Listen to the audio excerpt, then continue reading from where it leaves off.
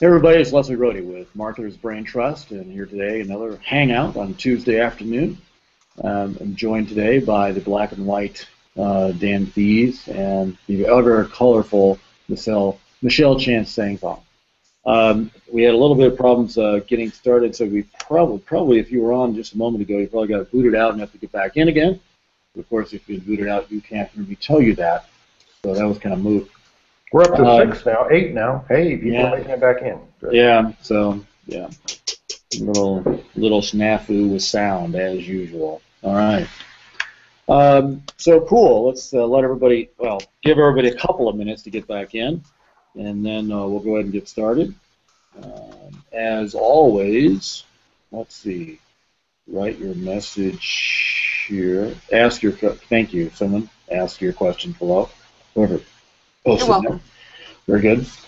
Um, I really like that yellow and purple you got going on there, Michelle. That's Thank you. that's very colorful.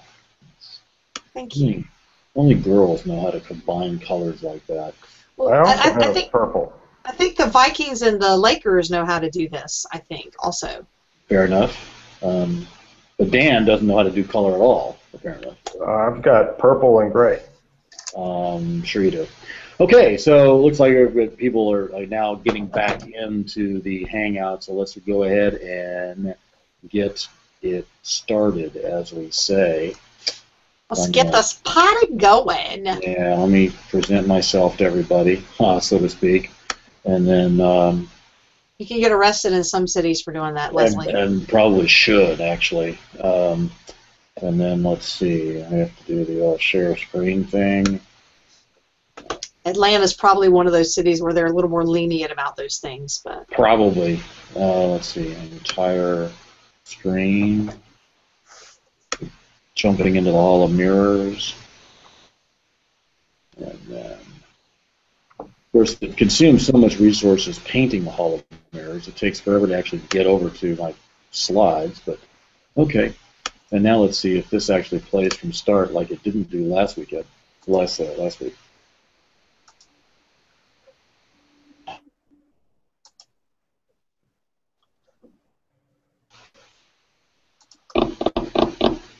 Um, I'm seeing a black screen. I'm not sure which piece of oh, software Slowly but for to blame here. Well, it has to turn black before it can show your slide, right? Maybe it's just slow. Maybe it died again. Wow.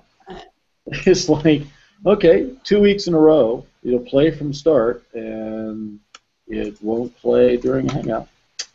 I don't know. Hang on just a second while we um, while we Oh. fix that. All of the little crash dialogues throughout the whole Hall of Mirrors. I know, right? down. So let me see if I can just um, print the PDF and do it that way like we did last week.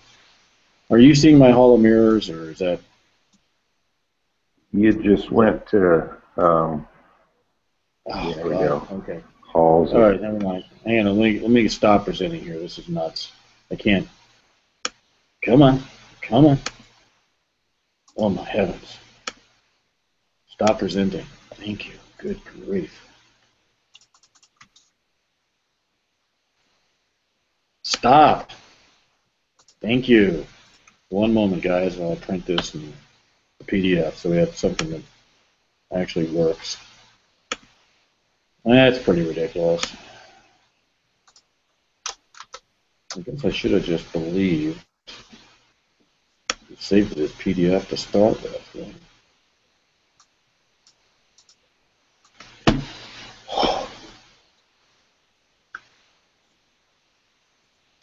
Tell you what, this sucker consumes huge amounts of resources when it's broadcasting.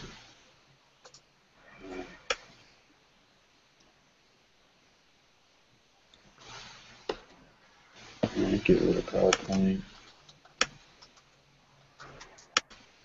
Actually be the right thing to do is to get rid of PowerPoint.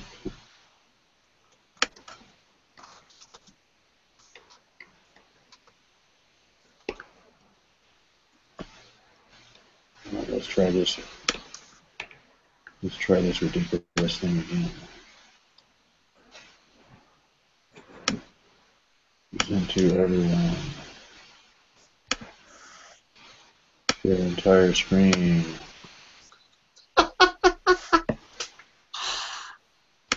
on the camera.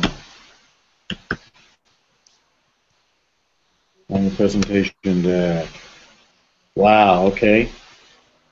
Bing. How's that? Yeah. How was that on the timer?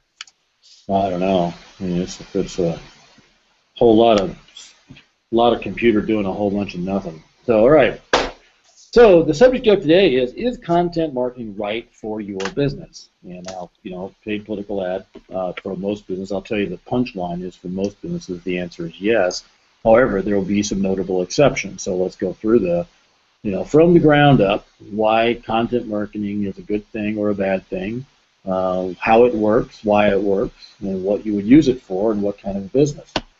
So first, let's define what content marketing means, and this is from the Content Marketing Institute. Yes, there's actually an institute for that.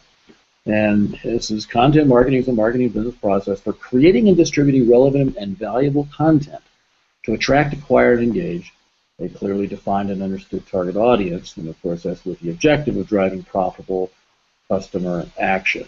Now that's ultimately not right away, and so there are some things which are distinct from content marketing we'll talk about in just a moment that ultimately have to do with the objective of driving profitable customer action, but do not lie in that realm of content marketing.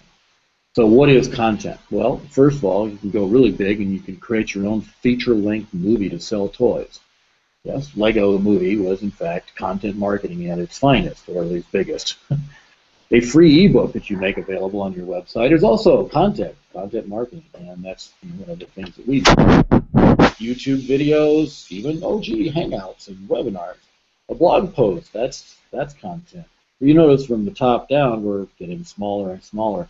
Techmeme, which is really kind of tied for Twitter in terms of the size of the, the size of the pieces of content.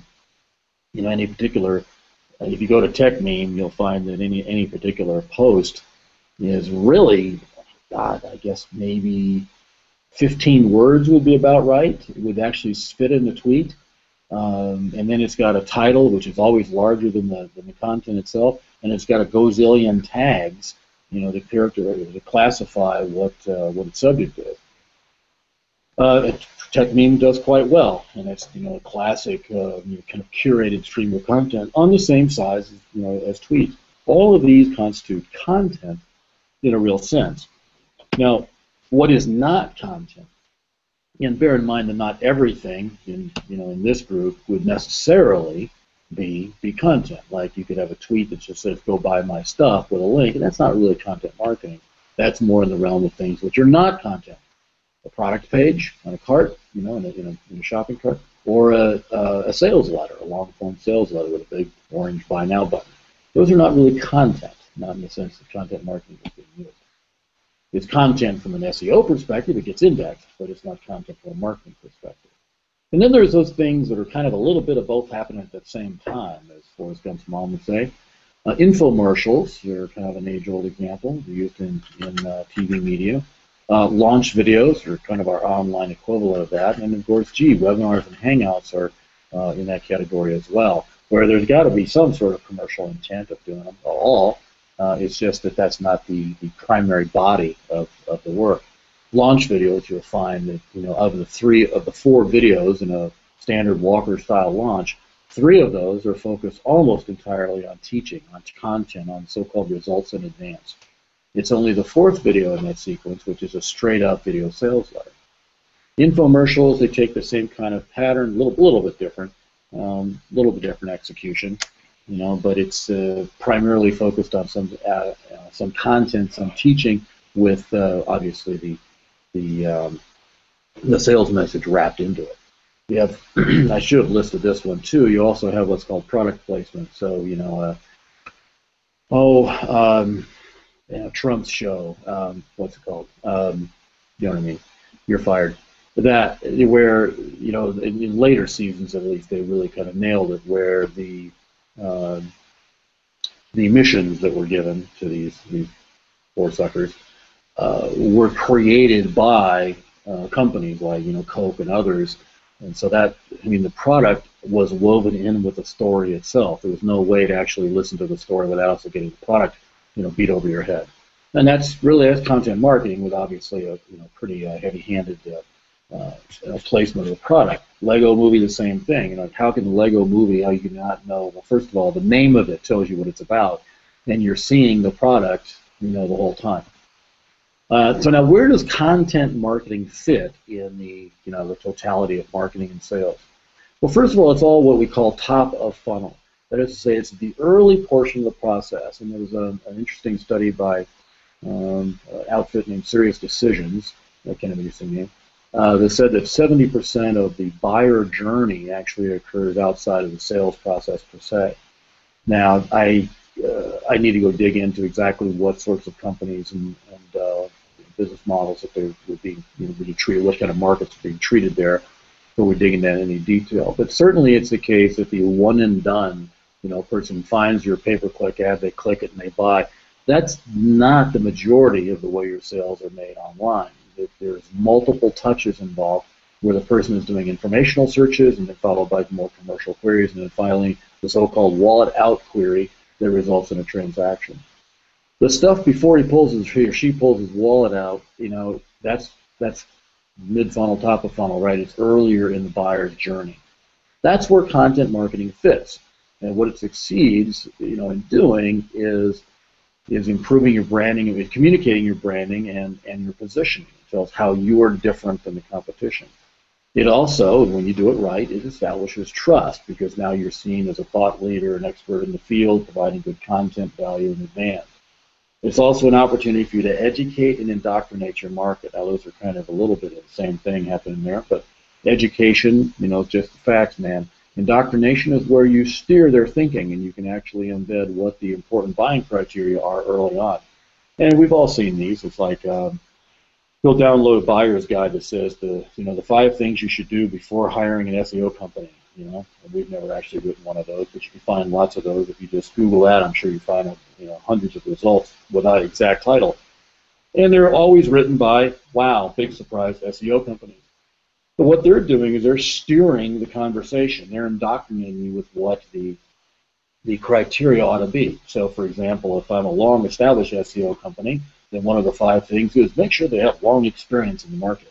And if I'm a new upstart, I'm going to have, you know, in my version of that document, instead of long experience in the market, make sure they're on the leading edge and have the most up-to-date information. You see?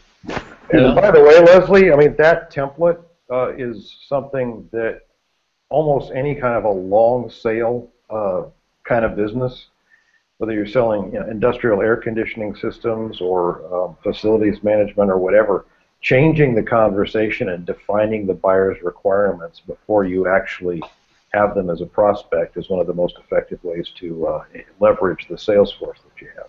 Absolutely is. And it's a, it's a reason that those kinds, in B2B, which, you know, high-end B2B stuff where you're talking about you know, I, you know big IT purchases and stuff like that. They've done white papers like that for like since there was paper, right? And that's why. Yeah, the cool thing about it now is that you don't just have to do that all in one shot with a big white paper that you ship to people. You can actually do that one idea at a time through right. content marketing. Yep, yep. Sequences of blog posts, sequences of email items, that kind of thing. Absolutely, sequences of messaging.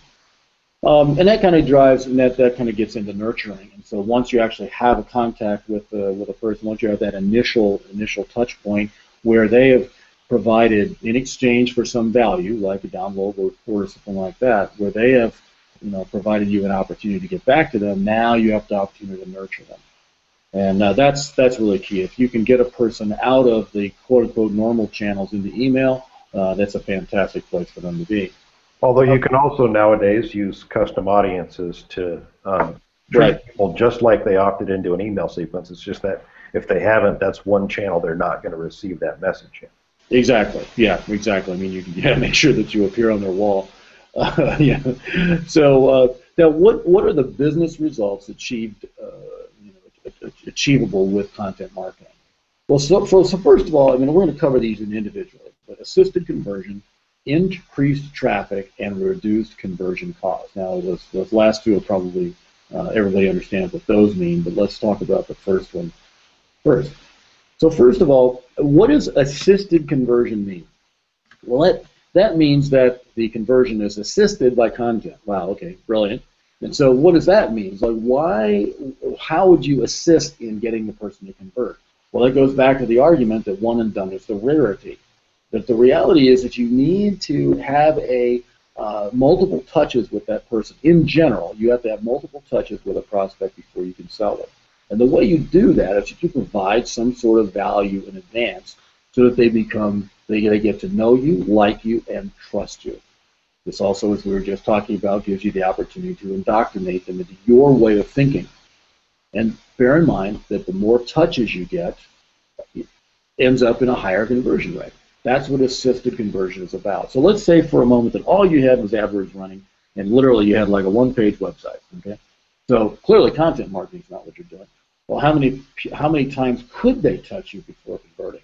Well, I mean, they could go bang after your PPC ad a whole bunch of times. Um, that would be really brilliant, wouldn't it?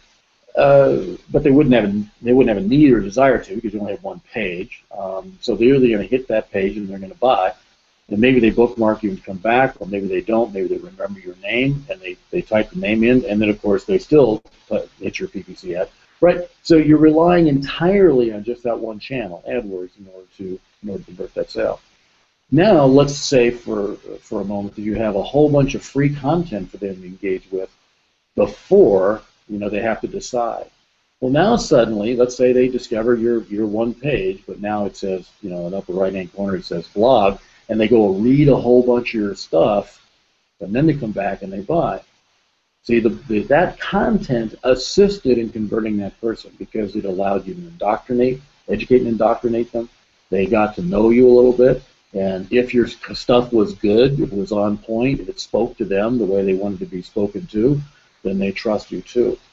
And so that's that's what we mean by assisted conversion. You can see that in reports in Google Analytics, the extent to which uh, multiple channels uh, provide you know synergistic um, you know assistance. So the next thing, of course, is increased traffic. What you want to do with not just create content. If you just create content, what you're doing is relying on one single channel called search. And in case you missed the memo, search is actually in decline. You know, total desktop searches is, has peaked whenever the hell it peaked and is now in decline. So if all you do is publish content, you rely on Google to index it, okay, well, bully for you, but you're working a losing proposition. And at this point, uh, I believe it is uh, 25% of all 25% of all traffic is Facebook traffic or some ridiculous number like that. It's, it's basically second only to YouTube. Um, so go meet your prospects where they are. Where are they? They're everywhere. Now, you know, more of them are on Facebook than anywhere else. 72% of the adult population in the United States is on Facebook, or at least has an account. I mean, I'm one of that 72%. Wait, am I an adult? Maybe. And so, uh, but I'm not ever there. Okay, so fine, I'm an exception, maybe. But you know what? We're few and far between. Besides, even I occasionally show up on Facebook. You know, and open up my iPad. My iPad tells me what happened on my Facebook wall, and occasionally I go there and look. And then guess what? Just like everyone else, I get sucked into Facebook, a gravitational black hole. Okay. Well, they're pretty good at that. I mean, I, you know, bizarre, really. Anyway, so be everywhere. That means Twitter. It means Facebook. It means everywhere. Even oh, God forbid, Google Plus. Okay. And also realize that repeat visits are the best visits. Why? because the average customer visits you more than once before they become a customer. So if you're looking for a leading indicator of sale, okay, well, let's see. So sale, that'd be good. But wait, let's see. Entering the shopping cart, that would be a leading indicator. Oh, visiting the website, that'd be, oh, visiting the website more than once, right? Repeat visits are the best kind of visits. Then finally, reducing your conversion cost. By now, you should see how this works. If you're doing paid traffic at all, incorporating non-paid into the equation will reduce your total cost of conversion. As it stands, in your first example, you have a one-page website and only AdWords. The only place, the only way, the only traffic source, you're going to click your AdWords ad over and over and over again. Wow, that's efficient, right? Instead, let's say you're in AdWords and you're in search and you're in Facebook and you're in Twitter and they can find you on LinkedIn and friend you too, right? Suddenly they have more ways to find you and a higher and a likelihood that they will find you those other ways. Educated prospects, by definition, convert better.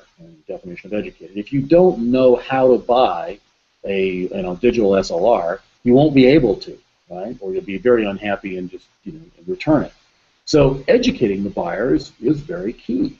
Uh, even better is indoctrinating them. So educate them. That's part of the deal. Give them the facts, and then steer them to the right decision-making process.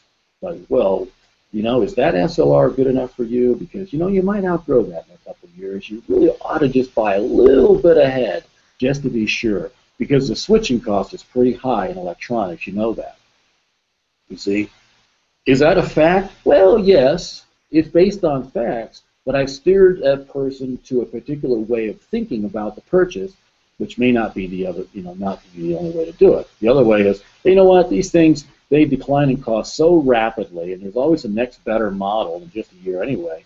If you try to buy ahead, you're just going to be disappointed. What you ought to do is go for the cheapest thing you can find right now, and then sell the damn thing on eBay when you're done you want to upgrade. See? Now, which of those two businesses, you know, sorry, which of those two stories are you going to tell for your business? It depends on how you are positioning yourself. Uh, finally, trust is the single biggest conversion factor, and one of the one of the things that makes it so insidious is that people do not know when it's working. Right? They don't know when it's at work in their psyche. They don't really say, "Well, I don't know. I don't really trust this guy." No, it's when the page loads slow, the graphics look sloppy, things aren't aligned right, or there's grammar or spelling problems. And I, full disclosure, I, I just discovered that one of our sales letters has that too. You know, those things subliminally create distrust because you don't look like you got everything dialed in right. Okay? Trust is the single biggest conversion factor. Get that right. So let's talk about the best markets to use content marketing now that we have some clue about what it actually does. The first category, and we'll go through these in turn, information-rich products. I'll define what that means in a moment. Anything where there's an involved decision or selection process, whether it's information or not, and then things with very high differentiation. So what's information rich? That means it has lots of damn features. For example, uh, I'm actually in the market for a, a replacement of some of my stuff in my studio, right? The one I'm sitting in right now. And I can't actually, I cannot even find the answer. That's how bad this is. I cannot find the answer to this one specific question despite the reams and reams and reams and reams of content out there on cameras. And this is about cameras, right? Cameras are information rich. Selecting a camera is is way harder than ordering breakfast, and that has a lot of options, as you well know. You know what kind of toast? Do you want butter and jelly? Phones, the other the other area. It's like how big a screen would you like? You can get them all the way up to football field size, right? Appliances, that's the other one. It's like, well, okay, do I need the two and a half horsepower blender, you know, or is a horse and three quarters enough, right? And why? Well, it depends what you're going to blend, sir, right? That's an information-rich product. Anything like that um, just in terms of writing like applications uh, blog posts. I mean, an essentially infinite amount of content that you can write about information-rich products. Now, there's kind of can, can to some extent overlap with uh, involved selection process, which you know, obviously if there's uh, lots of different choices, then that makes the selection process more involved. But there are other kinds of products where there's a selection process that's involved, not because of information content. I'll do the last one first. Wedding rings you know, okay, you know, how many carats is it? You like white gold versus the yellow gold, right? We're not talking about the number of features like we have on, on, on phones and cameras. However, what's so involved about the selection process in wedding rings? It's a highly emotional, long-term sale. It's one of those things you got to get two people to cry over. Right? Automobiles, well, it's yeah, they're information rich, but they're also you got so many things wrapped up, particularly with middle-aged men about what automobile they have to have, right? Okay, because there's a lot more going on here than the information that's going on. You know, it's like if they're, you know, single, it's whether you pick up chicks, and if it's too old, it's about whether or not they're having a midlife crisis, and you know, it goes on and on. You know, you like the is 275 horsepower enough for you? You know, um, artwork. You know, it's I don't know what looks good, but I know it when I see it uh, that's a selection process that is just God, it could take forever. One of our clients right now, you know, they they sell very large pieces of art that hangs on the wall. Well, of course they have a long lead item. Another one I didn't list here. This one's really probably my favorite one is clawfoot bathtubs. You know, it's not one of those things you just like pick one up at a garage sale and would just surprise your wife with one. Hey, honey, look what I got, a with bathtub. You're talking about a bathroom remodel. Well, of course it takes 90 to 120 days to figure that out. High differentiation. So this is any personal service. Medical, obviously, tops the list. You trust that doctor, yes or no? We'll go to maid. I mean, okay, you know, we actually went through several maids before finding one that's, you know, that we really like and have kept. Um, most business services, and is where we talk about in in, in consulting and in information marketing, um, in an extent, and you, you got to be careful of what, what you take away from this, but it's that you do not have competitors.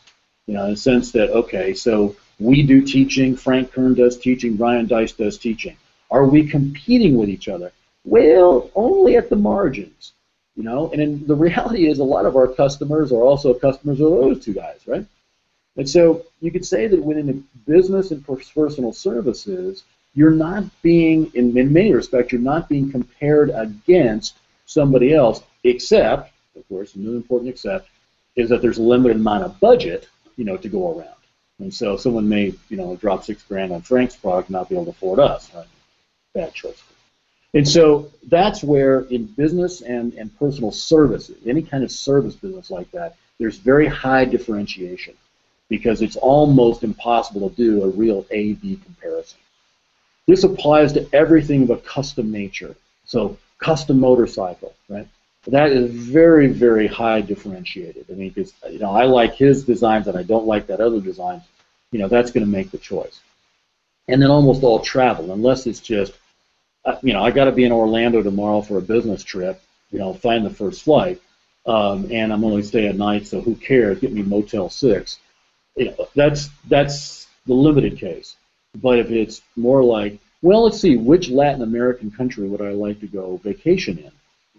You know, this is a very high differentiation, and the price is not really the primary, you know, criteria. I mean, it is a criteria, but again, you don't have a A-B comparison. Like, well, Belize is nice, Costa Rica is nice. Yes, you have that, but then you start digging into which resorts and which travel, you know, firm or whatever you're you're not doing exactly A/B comparison, and that's where each one of those places has an opportunity to sway the conversation dramatically because of that high differentiation.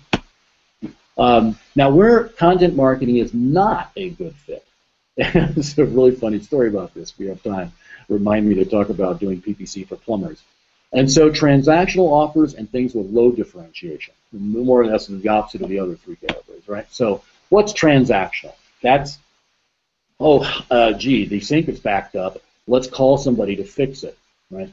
You don't, you know, that's not one of the things you research. You know what I'm saying? You might research it for 10 minutes, but you're going to get that fixed. Um, I'm standing in downtown Atlanta and I need to go home and my car's broken. I'm going to hire a cab. Well, actually, I'd probably call Uber, actually, now I think about it. And so cabs, whatever's in the area, whoever can get here quick, same with tow trucks. These are transactional. It's not like content marketing is going to help a tow truck business. All right, nobody is looking in advance for towing services. Well, unless it's in a commercial, but certainly in a B2C, that's not the case, right? What's low differentiation? Toilet paper. You know, God bless you if you have a toilet paper business because those are the people who make the most money or the ones who do big consumables. However, content marketing, you know, I don't even want to think about what that would look like for toilet paper. Moving on rapidly. Nuts and bolts. The only person we ever turned away uh, from Link Liberation literally sold nuts and bolts and fasteners of all sorts wholesale. so not even retail. You know, we basically told them is to get out, uh, you know, get out the big books of everybody that buys that stuff and just call them individually. There's only a couple of thousand in the United States. Then something like electricity and other utilities. It's not like, and in some markets, yes, you can shop around for electric power, but like, how are you going to do that? An electric power company is going to content marketing? Yeah, I'm not really seeing it, right? So, but be careful of whether you decide something is transactional or uh, non-differentiable. For example, is shaving a low differentiating pro- uh, differentiated product? Um, well, I would have thought so until the Dollar Shave Club. And I thought, okay, well, that's one. Actually, since then, I found two other, not one, but two other startups. One of them venture capital backed. Actually, I think Shave Club is too. Now I think about it, where they're actually, and this one company is actually inventing new shaving products. Okay, that's nuts. So much for razors being low differentiation, right? Turns out it can be differentiated.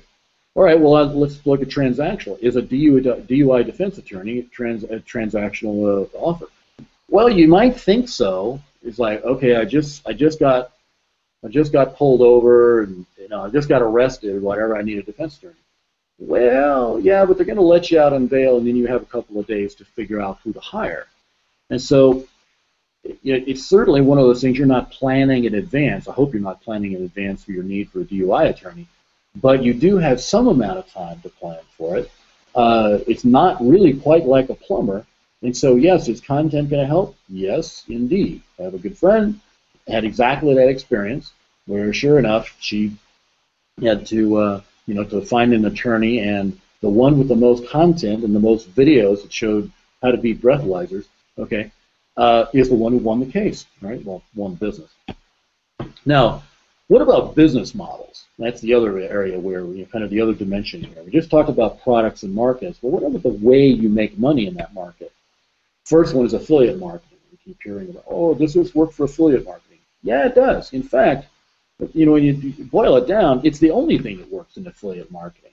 If you don't have content and you're an affiliate, how are you value add, right?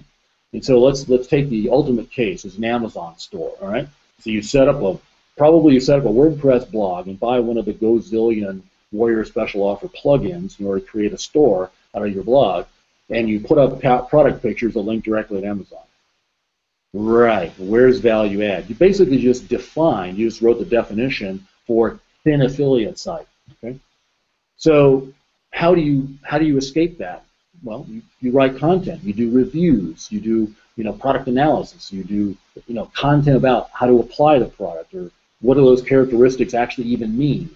Right? Do you need a uh, one four thousandth of a second shutter on your camera? Those kind of things. That's what actually takes an affiliate, thin affiliate, and makes it a fat one. So yes, does content marketing work? I would say beyond that, it's requirement.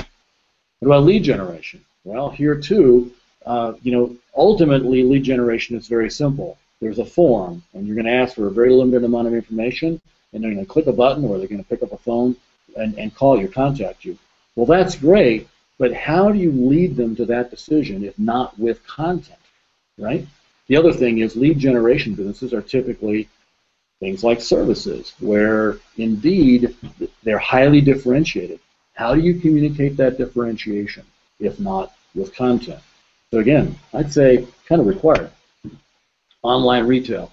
This is where most people have this notion that because they have a store, they don't need a blog or they don't need anything on their blog except special offers, coupons, and sales.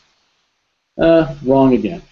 And so the only thing wrong with having a store today is that it's just a store. And if you're just a store, you're just a um, undercapitalized Amazon. And and good luck, by the way, beating Jeff Bezos at that game, right? And so, you know, and you don't have that big following that Amazon has. If you're just a store, what are you doing for differentiation? Well, you better use content. You better form a relationship in the wide part of the funnel, the top of the funnel, form that relationship and then nurture that person by educating and indoctrinating. Because if you do that, you're operating a place that Amazon cannot go because it doesn't scale to a bazillion products, right? So in online retail, you don't have to do it. You can continue being just a store if you want to be, but just realize what you're doing. You're competing head to head with Amazon. Now, so I want you to consider this. It is not the product, and you know, sorry, it is it is the product and the market that make content marketing work, not the way that you make money in that market. That's the key, right? So you have to look at your product and market and who buys that, who's the prospects that you're trying to attract and get that product, you know, to get this, to buy that product. That's the important characterization of whether or not uh, content marketing is going to work or not. How you make money, That doesn't matter. That's not what content marketing is about. In fact, just the opposite. Content marketing is how you get people attracted to your offer. The offer itself can be any of those business models. Which kind of dovetails into thinking about content marketing the right way. This is a marathon, not a sprint. If you want to build a real business, something that's not some flash in the pan, you're going to have to build another one, you know, just like it next year in a different market. It's a marathon, it's not a sprint. Anybody can build a $100,000 business. I know for those of you who don't have $100,000 business yet, you're probably kind of pissed at me for saying that, but the reality is a $100,000 business is not much of a trick to build. Now, building a sustainable one, you know, that's another story because that's a really tiny business. and You don't really have much in the way of economies of scale to work with. Building a million dollar business is a lot more meaningful accomplishment, and that's where the fun actually begins. It's only at seven figures where it gets fun. Uh, everyone talks about building a six figure business. Ho hum, who cares? That's not sustainable by itself. That's not even a good job. So this is a marathon, not a sprint. If you want to be successful, you got to plan for the long term. And think about the valuation of what you build, not the net profit. I mean, there is a reason that every venture-backed company on the planet loses money until basically IPOs. Why? Because they're buying ahead. They're building valuation, not net profit. They're buying market as fast as they can possibly buy it. It's the Amazon story. I mean, it's the reason that Jeff Bezos, you know, is a hero and not a clown, is because that that scheme worked. He bought ahead fast enough that he reached economies of scale so that the system worked every business ultimately has that characteristic, and you probably can't go quite as crazy as, as Jeff did, but that it has the same nature. You have to prime the pump. And so think about what are you building in the way of like the valuation of your customer list, in your um, your conversion strategy, marketing strategies, you know, the the, uh, the characteristics of your website that actually lead people to conversion. Those are things which are have asset value.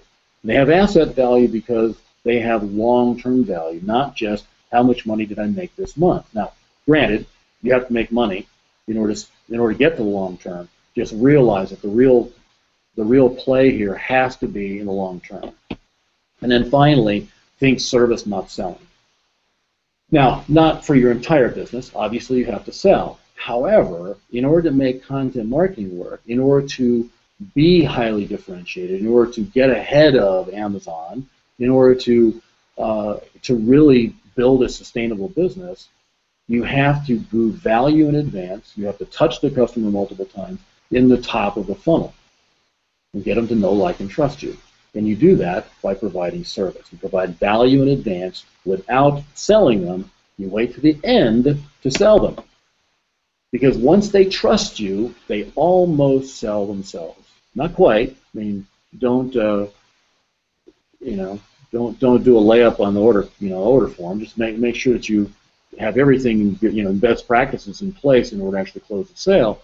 But just realize that if they get to the point where they already trust you, they've already they're already pre-sold. They'll argue for the sale. I mean, I've had this happen where no, no, no, no, I don't what to talk about it. I just, I just, I just want to, I just want to buy this. Oh, okay, settle down. I'll let you buy it. you know, that's the, that's the experience you want to have in your business. So making a choice. You know, how do you go about making that choice? Nearly any business will benefit from content marketing. Hope we went through that, you know, with sufficient detail that you can see that.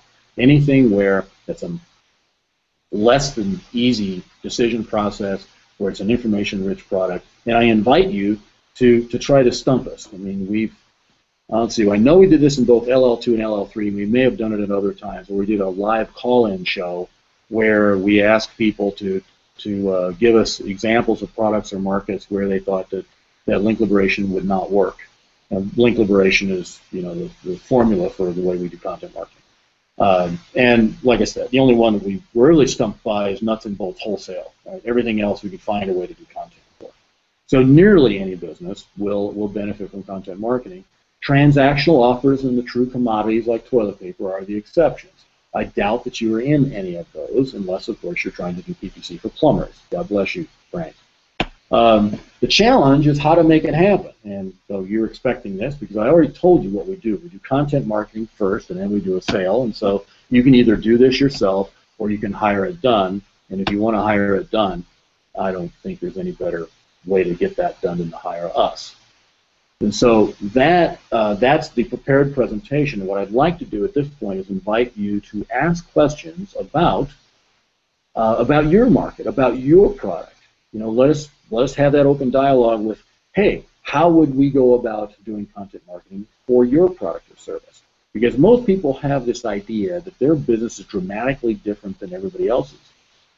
We have not found that to be the case. Um, that's just, uh, you know, everybody is people. And a B2B or B2C, it doesn't matter. You're selling to a person, and that person has needs, wants, and desires that you can identify and attract them with content, attract them to your brand. Um, so let me go ahead and do the whole stop sharing thing.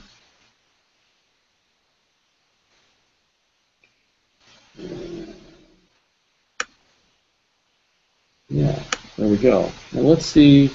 So what, what do we have in the way of, oh my heavens, wow, we got questions or comments or here, something. Has anybody been following this? Dan, Michelle? Not exactly, no. Okay. I, I have, but No, there's only really one nothing question. really on the content so far. Yeah. All right. That's just five. Oh, I see. It was about our technical difficulty. Terrible quality video keeps cutting out. Yeah, I mean, we can't do anything about the platform, guys. Um,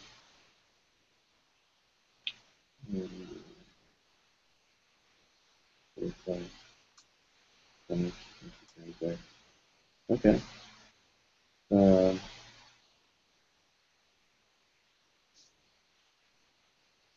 hmm. Yep.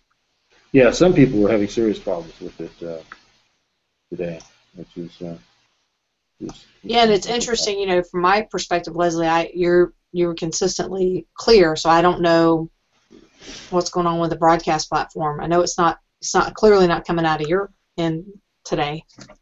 Yeah, right. Yeah, once I got my sound working at the beginning Mhm. of the show. Yeah. Um, okay. We Uh, wouldn't have let you keep talking if we couldn't hear you. Don't worry. Not a second time, Not, right? not this time. Yeah, not this time. Good. Glad to hear it. So, all right.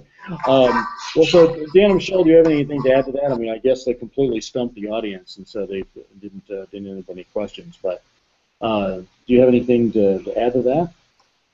And then let's talk about what we're going to do- next week because we're actually on schedule for a change. How about that?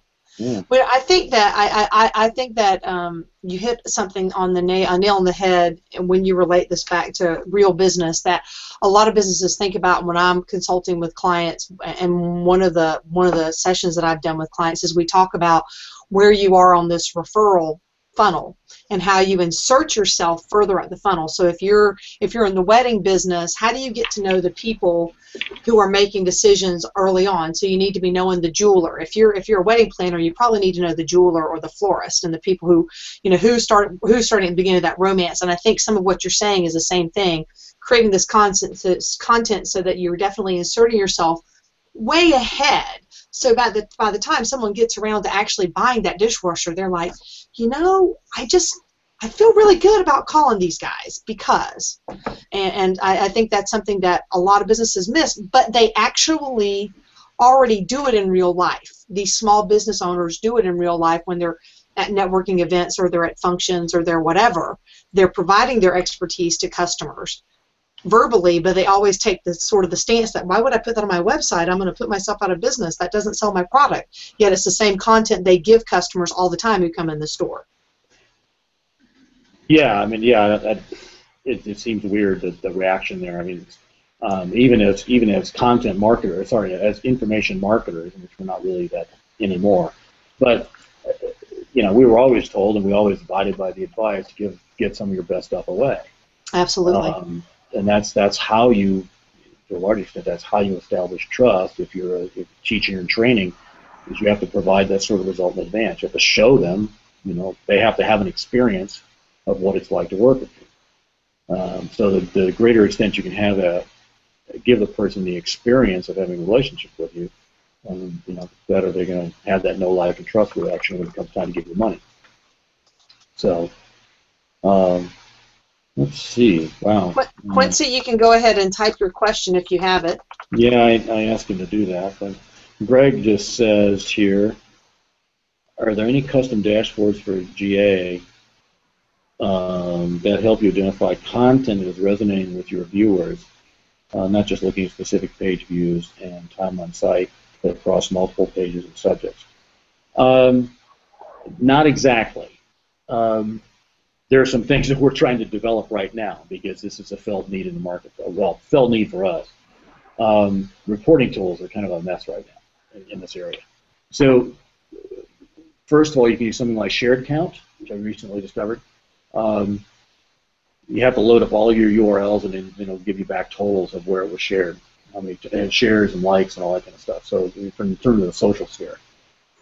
If you go with in in Google Analytics, if you do uh, content groups, uh, then you can uh, you can roll do some reporting based upon groups of content. Um, so if you have you know, your blog is segregated, or if you have you know uh, different kinds of content within your blog that are, that are tagged as content groups, you can do it that way. But you have to think that through in advance. You can't do anything in arrears in, in Google Analytics, right? Um, and then, of course, there's the assisted conversions in, let's see, it's in conversions, multi-channel, something or other, assisted conversions. And you can find it it's down all down near the bottom in the uh, in the menus in, in Google Analytics. Um, and assisted conversions is is a great deal of help.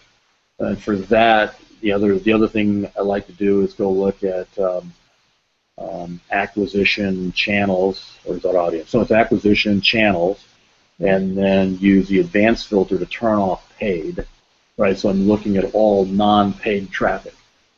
Um, so those are a couple things you can do, but they're they're pretty rough right now. It's pretty rough. And, and I would say they're even. It's not. There's not. There's no beautiful science about it at all.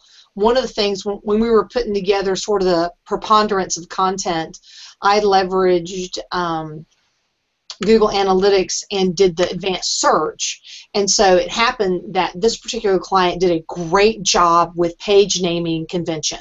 And so every page that was about, let's just go with the dishwashers, every page that was about blue dishwasher somewhere in the content, they that was pretty much contained in the page name.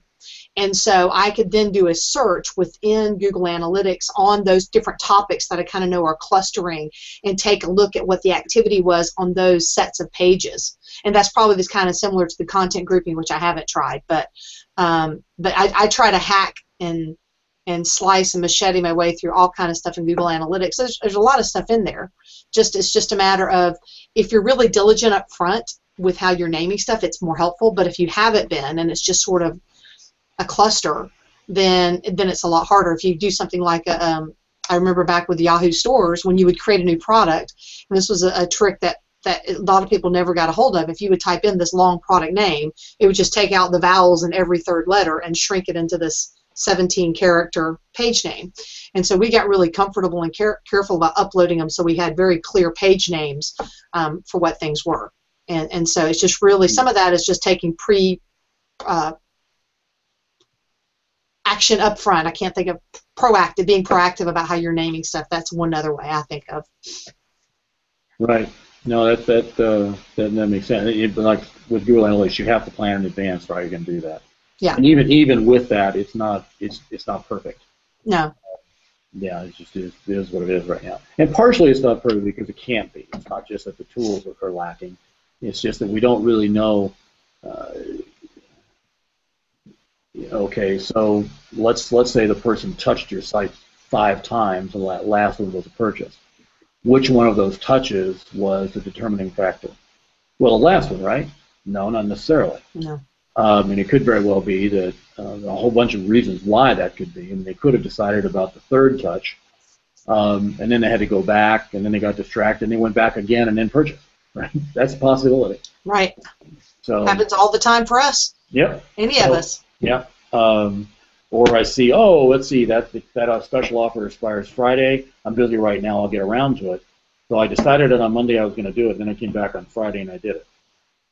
So, oh well, that means okay, this was the urgency that sold. Well, kind of. And that's because I did it. You know, I did it Friday instead of Saturday because I had to. But I made a decision on Monday. Right? So you don't know that. You, you don't know how that works. Um, let's see. Quincy is ask a question here. How can a client of mine, a frozen food manufacturer successfully do content marketing, would it be better to focus on the end consumer who eats the food or on the store owner who sells it and how to find the type of content that would drive links in this boring market. Yeah, boring market. I wish I got paid every time someone called their market boring. Um, well, I could I could respond to that, Dan. Or you've been you can sit over there quietly in the darkness. Why don't you Why don't you take this one? Uh, yeah. Um, so, couple things here. First of all, I'd want to understand a little bit more about what's the what's the differentiation in the product, right? I mean, if it, if you're literally selling, um, you know, this is exactly the same as everything else. Well, um, do something to make it different. I mean, add mercury. Uh, to, uh, to, to, you know, to create uh, some kind of a unique selling proposition, and and then that's really, you know, the question is, do you have a unique selling proposition that appeals to the consumer? That is, is it, uh, you know, GMO-free, anti-free uh, radical gluten seafood? Um, is it especially rich in omega 9 or whatever? Um, is there some way that you can make it appealing to the consumer so that it's something that they're going to walk into a store and ask for? Um, and then they'll go, oh, well, we don't have that, right? And that's one of the um, coolest campaigns that I've seen is, is, is a coupon campaign uh, that was uh, by a brand that absolutely did not believe that anybody would find their product in the stores, and they saturated an area. Uh, and uh, all of those coupons being presented, do you have this, uh, is what uh, warmed them up before the sales reps started calling. but who, who, who is going to care the most about what your differentiating factor is? If it's something that you know consumers demand this brand uh, or this feature and and it's available, that's great. If you can, uh, then you probably want to uh, you know, think about uh, about more of a consumer-focused content marketing strategy to build a brand. If it's just that uh, you know um, our slaves work 20% harder and so our fish is 50% cheaper then you know, that's something that you'd want to focus on on the seller. So it kind of depends a little bit on, on how you differentiate, how you position yourself in the market as to what side you'd start with at least. You'd probably want to focus on both if you're what I would call a normal uh, company at some point, but where do you start? Well, right, and that's yeah, that's the two different avatars there. So, I mean, to some extent, you almost have a two-sided market if you're if you're trying to convince a wholesaler to put your product in the store uh, so the consumers will buy it. I mean, you have really two two marketing missions. Um, is that you really do have to get you do have to create demand for your product um, if it's if it's if its own brand, right? Um, but you also then have to convince the the store, the seller, um, that uh, that there's that there's a market for it. So how do you how do you do that? And so the, the two different avatars, you know, as Dan was pointing out, if you have a consumer-focused campaign that shows why they should have this, uh, that's really good. And that's going to be content centered around whatever uh, whatever the needs, wants, and desires are relative to or connected with that kind of a product. And so let's let's say it's I don't know it's frozen vegetables or whatever. So you know why you should eat your vegetables. You know why why uh, how to do eat a real balanced diet and why the food pyramid is obviously upside down. And, you know any of those kinds of kind of memes as a consumer focused message in order to get them to want more vegetables. Um, and if there's particular something, you know, including, you know, mercury, mercury is good for you, right? Start a campaign around that. Um, the uh, on the store side, uh, you know, why yours? They already have frozen food. They already have frozen vegetables. So why yours is better, different, or whatever? That's your selling message. But now, how do you attract them to your brand? How do you attract the store owner to your brand um, so that you can then sell them frozen food? And that's about, again, writing about the needs, wants, and desires of your target, in this case, the store owner. So what are the problems that a store owner faces? Uh, maybe it's about the delivery time, maybe it's about losses, maybe it's about uh, the, the markup that's available in frozen foods, maybe any number of those things. You'd have to, that's something that I don't, certainly don't know. Uh, but your customers do. Your, the, those people selling your product right now do, and I bet that you know that stuff too. It's a reason this with you know every one of our clients, we bring them in on content marketing. We do the avatar call with them, and we're going to ask that our client what their clients, you know, um, are actually interested in, what they do, what does a day in the life of your client look like, and uh, you probably already know that. Know, if you don't know that, you need to know that because it has to shape all of your marketing. Um, Let's see, Terry says a related question to Quincy's is if you set your content target at, at the consumers of the frozen food and the results as expected increased sales through the stores, how do you quantify the results from the content marketing effort? You can't. That's the problem.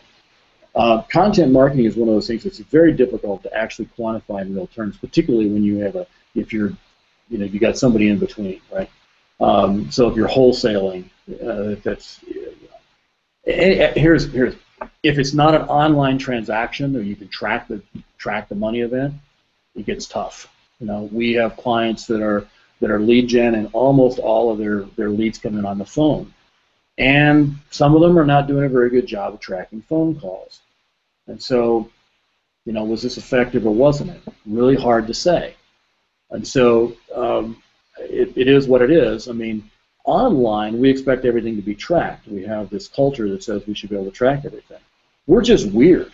I mean, you know, before online, nobody nobody had any notion you could track marketing. Hold on there, pal. Well, direct mail. Those of us that mailed millions of letters out. Yes. And spam people's fax machines briefly. Yes, that was that was like that was okay one right, but you you, you couldn't track any kind of advertising. Um, so yeah, I mean it's the the areas of marketing that we can or could track have been historically small in number to start with, and frankly are getting smaller, not larger. Um, because the transaction. Well, we used to have almost perfect tracking on SEO. Yeah. Thanks, Google. provided none of your business. Yeah. Yeah. Uh, we know the content program increased recognition of the product, but how do we convince the frozen food client of the results? And that's from Terry again. Um, and like I said, it's it's it's very difficult to do so. Um, the the things that you can grab onto as leading indicators. Okay, so if you do not have an online conversion event, the only thing you have to work with are going to be uh, things like growth in tra- growth in traffic, you know, growth in social signals, and um, and then whatever your bottom line number is, which of course you're not going to tie to content marketing per se, but you're going to tie to the overall uh, set of marketing strategy you have running.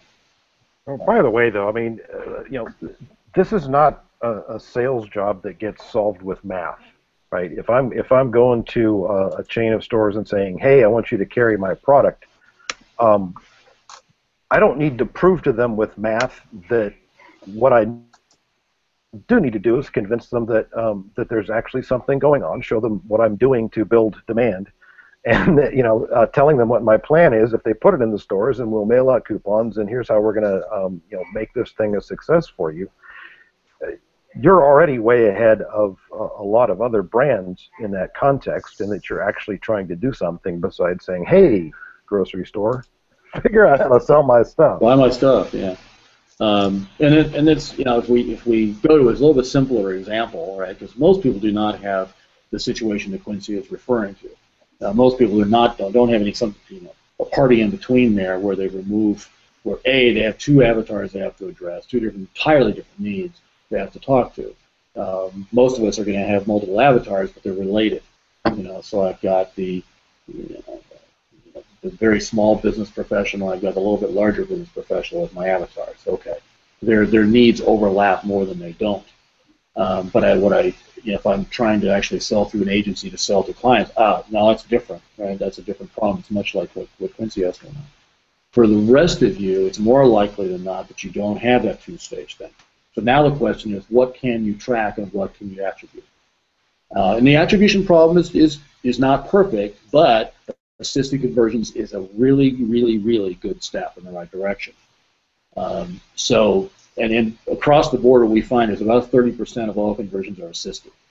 Uh, so, you know, that, that's got to tell you something about the, uh, well, two things. One is that's bound to be low um, because of a lack of, of attribution because they cross well, some of these guys that we have, of, you know, long sales processes with, with their products. I mean, we can tell right. that 90% of the conversions that we measure uh, had more than one touch in it. Yep. Yep. Right. Yeah. So, an email might be a remarketing ad, it might be a lot of things, but um, you know we stay in their face as long as it's plausible to do so. Yeah, what we were just talking to a client this morning, and one of the things was I forget what the you know with the, the top performing pay per click you know for their the ad for their for their campaign was their branded there's their name, and somebody somehow knew their name. Like I said, their, their last their first and last touch was to type in their domain name and make a sale, or make a purchase rather. Really? You know, who who told them to type in that domain name? It's obviously pretty suspicious. You know that there, there had to have been some other interaction, there had to have been some other touch. There's a lot of people just banging on keyboards out there. they, just, they put their monkeys on it. They Direct said, "Go find me a domain." completely random. Yeah, just completely random. Someone typing in the traffic. Yeah. Absolutely. And then well, buying stuff randomly.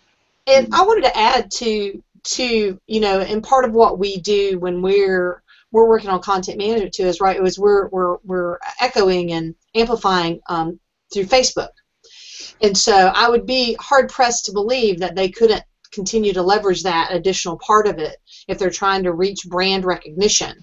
Um, because there's this amazing thing. Many of these large chains now have this thing called a Facebook page and in some instances have a large enough audience that you can actually target content to those pages and to the likers of those pages. And so um, for his case, I, I, think there's a huge opportunity to create visibility by by using the cycles that we you've talked about for the last few weeks and just really leveraging that. I mean, your end consumers love recipes, but but but getting that brand name associated with the people who already like the store, ooh, there's an idea. Yeah, sure um, okay, well, I think that that's all the questions we have for uh, oh. for today. And uh, let's see. You know, I did not get with you guys in advance because we had some issues with audio in advance of this webinar. So, um, let's see, Dan. I believe that you had some actual case studies um, that was actually taken from the UTE crowd. Was it? You know, was it not the case in terms of you're kind of on the edges of content marketing, and you'll focus specifically on Facebook, correct? Dan's muted. Yes. Oh, yes. Okay. Thank you for that, that expansive answer. Um, so, well, I mean, these things really fit together. Uh, uh, you know, I mean, what we're tending to do with UTE is there's, you know, it's more of a hard edge on it to a sense, and we don't, in that course, really think about the long-term objective of building an audience. What we're after is we, we've got a group of people, it's a small group of people, we're going to target them and try and figure out how to sell them stuff. And so uh, you, you tend to see a series of you know, typically one to three, closer to three most of the time, content type stories that sort of bring people um, you know closer into orbit. And then we have what we call qualifying content, which means that um, uh, you know if uh, how much money could you save if you refinanced your mortgage right now? Well, that's all pure content, right? It's how to figure out that and okay, so it's pure content, but who clicks on that? People that have a mortgage um, and are thinking that they might be able to save some money by refinancing it. And so once they've clicked to that content, then I can put them into a direct response funnel where I can push them back to go use the uh, mortgage refinancing calculator thing that I had, right? Which lands on a hey, would you like to submit this for a quote form? um, and you know, for for stuff like that, it's it's content with uh, more of more of a launch type focus than than anything else.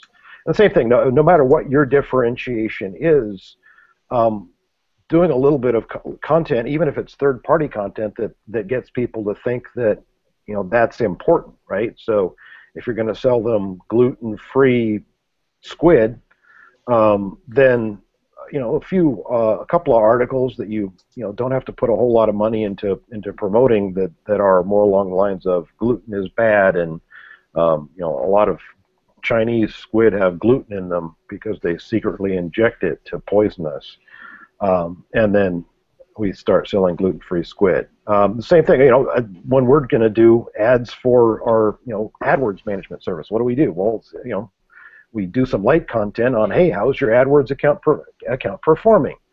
Uh, you know, what what is your ROI target? What's your cost per action that you want? Uh, you know, depending on the type of business, And how are you doing relative to that? Okay, well, if you're not doing well, perhaps at that point you might want to um, pick up the phone and get some help with that. But it's it's really, you know, it's it's more to help us identify people um, as more likely to be prospects rather and, and to focus more marketing resources on those that are following along with the content rather than to just try and build up an audience.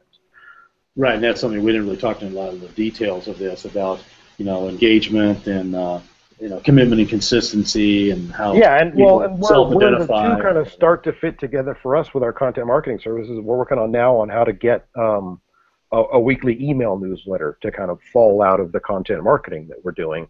But uh, if you think if you're doing content marketing, wrapping all that stuff into an email or uh, potentially multiple emails and using that content again for email, well, when you're going to email on something, you might as well advertise that to the same people on Facebook, what we call amplification. And uh, you know, oh by the way, that is going to increase the response to your Facebook campaign, and it's going to increase the response to your email campaign. So, uh, you know, what you what effort and, and money that you put into those two things, uh, you know, synergy is one of those words that idiots put on their resume when they don't know what it means, but it does actually mean something, and that's what we're talking about here. Right.